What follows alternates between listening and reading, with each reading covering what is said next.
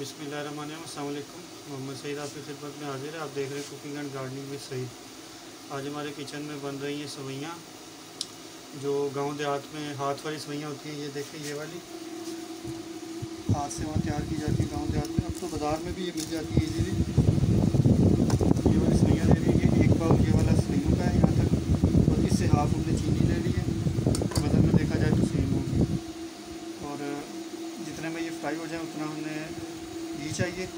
Garnish करने के लिए हमने लिया है गिरी और बादाम और गिरी और सोगी। और पानी हमें इससे डबल चाहिए होगा जितनी हमारी ये चले रेसिपी स्टार्ट करते हैं। इसके अंदर हमारी ये चीनी चलेगी। यहाँ हम शीरा तैयार करेंगे और इस साइड पे हम सवैयाँ भूनेंगे। पहले हम थोड़ा सा घी डाल रहे हैं इसके अंदर हमने ये मेवा जात फ्राई करना है। फ्लेम ऑन कर दिया। है हल्के से इनको फ्राई करना है, बीस से तीस सेकंड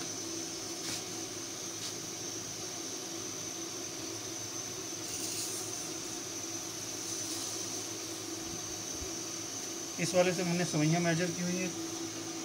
तो इसी के साथ हमने पानी मेजर करके डालना है, चाशनी बनाने के लिए।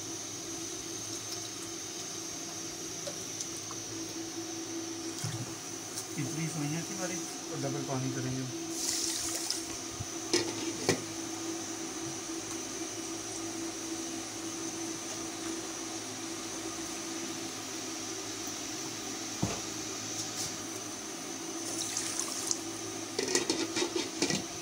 चूल्हे का फ्लेम भी ऑन करते हैं।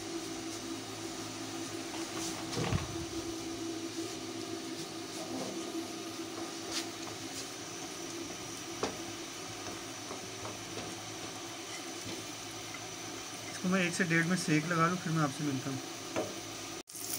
ये देखिए, इसको मैंने एक से डेढ़ मिनट तक सेक लगा लिया। फ्लेम बंद किया मैंने। और इनको भी मैं निकाल लूँगा। इनको मैं निकाल लूँ, फिर मैं सवैयाँ बोलता हूँ, फिर मैं आपसे मिलता हूँ।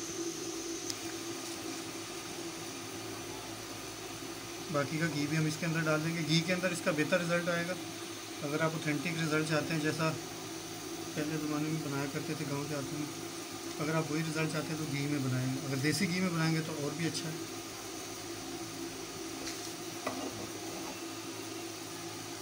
घी को हल्का सा सेक लग गया। ज़्यादा तेज़ आँच नहीं करनी यहाँ पे हमने। और सवैयाँ ऐड कर देंगे। हल्की आँच पे हमने इनको भूनना है। इन्हें जलाना नहीं है।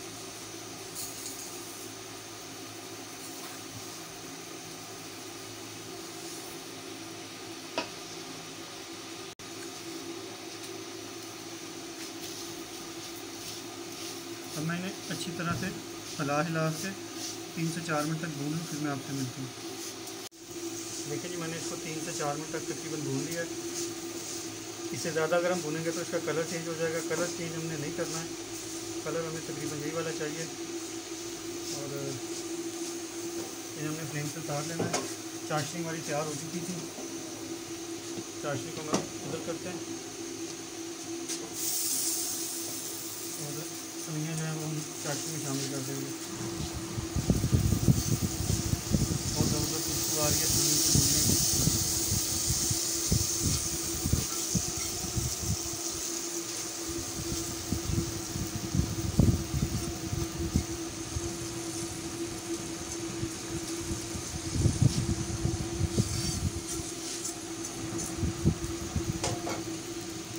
थोड़ी देर तक इसको इस पानी में पका लूँ, फिर मैं आपसे मिलता हूँ।